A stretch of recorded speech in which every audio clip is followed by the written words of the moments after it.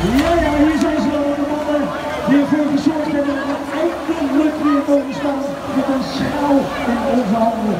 De landskampioenen van 2000, 2017, 2016, die zijn de selectie en de staf van final.